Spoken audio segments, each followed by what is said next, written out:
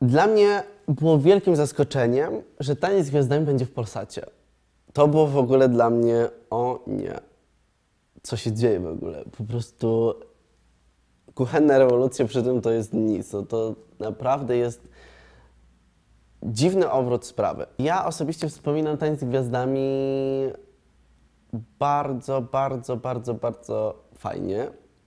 I żałuję tylko jednego, że nie, nie zrobiłem tamtego, co tak naprawdę czułem. Bo ja rzeczywiście miałem takie, takie chęci, żeby, nie wiem, wyjść w sukience albo, em, albo w jakichś szpilach, albo w ogóle w jakiś, jakiś body painting nago. W ogóle chcia, chciałbym zrobić ogromne show. E, I teraz z perspektywy czasu, że e, żałuję, że nie poszedłem na całość. Że gdzieś tam rzeczywiście był ogromny nacisk na to, żeby wszystkie pary super tańczyły.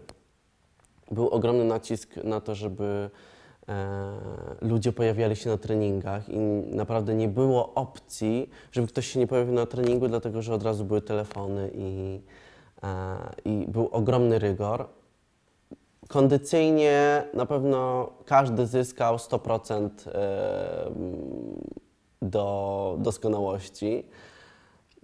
Ale, ale tego jednego naprawdę żałuję, że, że nie pobawiłem się tym programem, tylko że zrobiliśmy to tak w sumie tak sztampowo.